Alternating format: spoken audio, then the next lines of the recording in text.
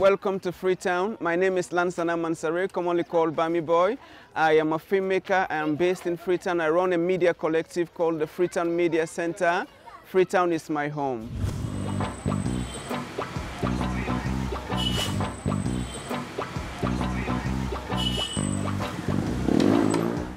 The capital and largest city of Sierra Leone, Freetown, is a major port city along the coastline of the Atlantic Ocean. Around 1 million people call this city home.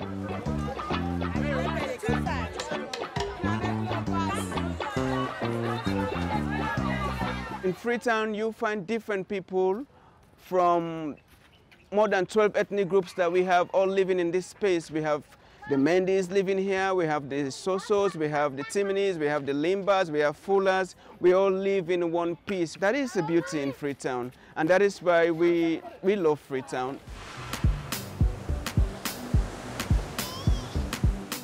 The area around Freetown was settled in 1787 by freed slaves. It became a melting pot for liberated African and Caribbean settlers. The cotton tree in the city center reflects Freetown's unique history.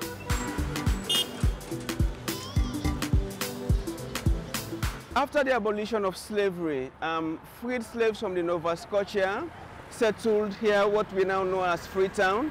And that cotton tree right there was the place where, um, you know, they had their services. The preachers do preach under that cotton tree and they had their meetings.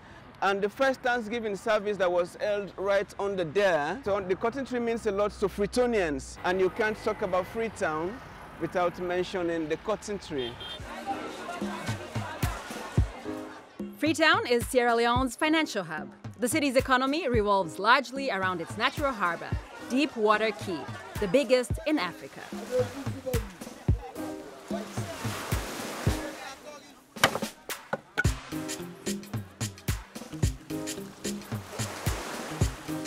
Lansana Mansaray used to fish for a living, earning him the nickname Barmy Boy. Barmy is local slang for tilapia. As you know, Freetown is by the Atlantic Ocean. We have a really long coastline, beautiful coastline. So I grew up in a community like many other families. Fishing was like livelihood for, for me and um, for my family also.